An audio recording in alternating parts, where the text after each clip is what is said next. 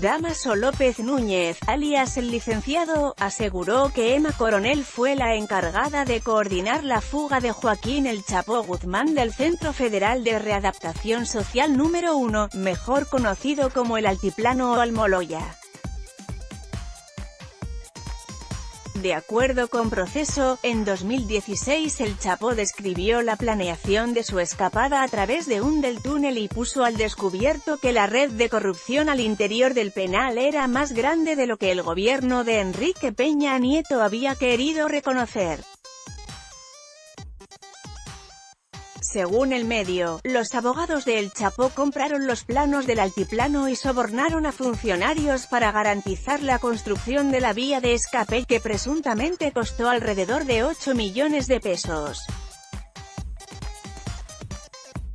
Tras exhibir el altísimo nivel de narcocorrupción en el sistema penitenciario de máxima seguridad, el gobierno de Peña Nieto habría optado por entregar al capo a las autoridades estadounidenses. Ahora, el licenciado dio a conocer algunos detalles sobre el suceso que eran desconocidos, pues aseguró que Emma Coronel estuvo al frente de los planes para organizar la fuga del capo sinaloense del altiplano. De acuerdo con su testimonio, la ex reina de belleza se reunió en varias ocasiones con él y cuatro hijos de El Chapo para coordinar la compra del terreno cerca del penal y la logística para llevar al capo hasta la sierra de Sinaloa. Según el licenciado, Emma Coronel era la encargada de pasar los mensajes de Guzmán lo era al resto del grupo, por lo que en julio de 2015 logró escapar a través del túnel, de kilómetro y medio, que recorrió sobre una moto y rieles.